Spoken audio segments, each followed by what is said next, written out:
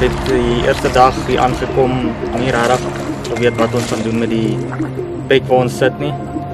Uh sit maar uitgery, stokke vlak gesit waar ons gedink het die vis gaan wees en um eerlik te wees, ons het nog nie een keer 'n rand daar gekry nie. Ons het een baber gekry op die vlak stokke.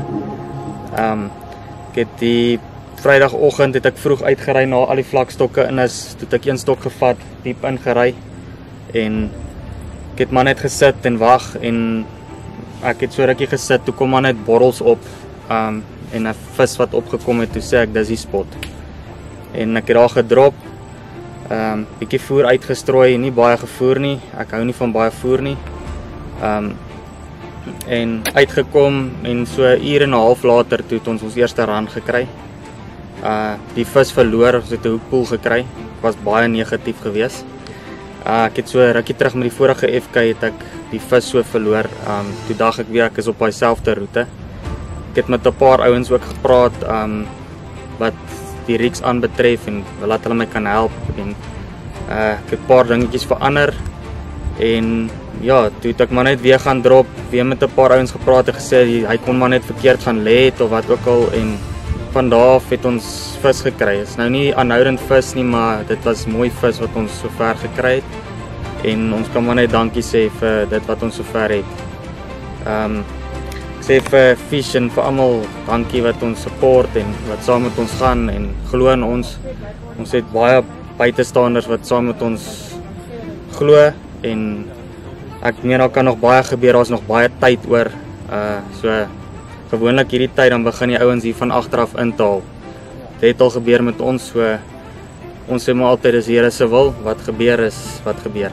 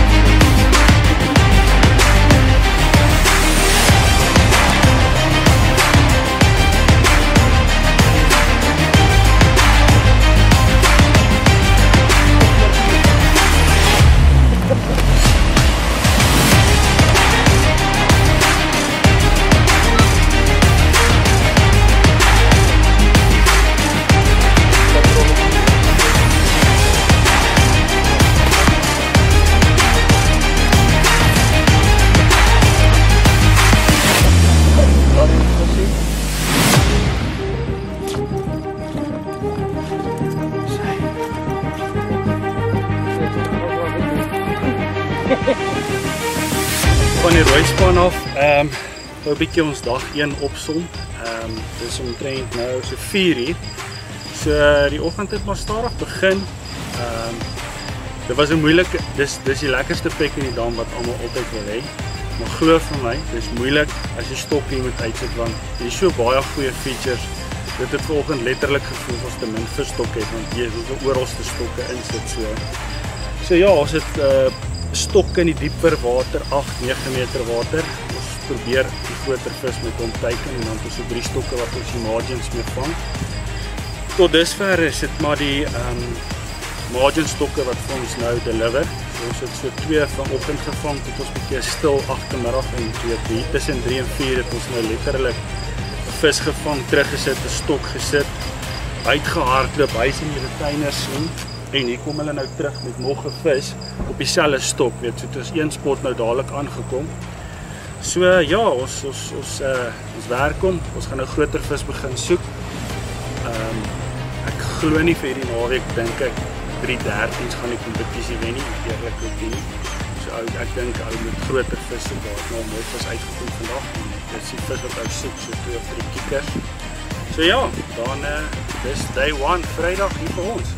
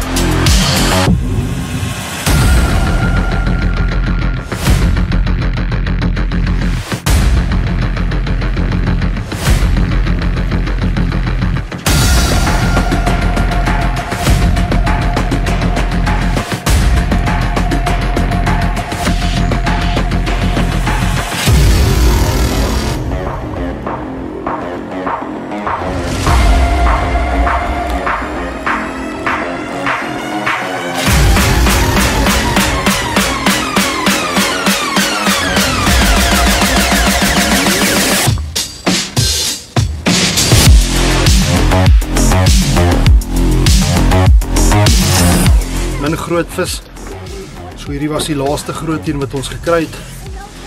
Hoopelik is hy genoeg om die job te doen. Ons het maar margins gefish. Ons het nie veel ander opsies hierso op by die swem nie.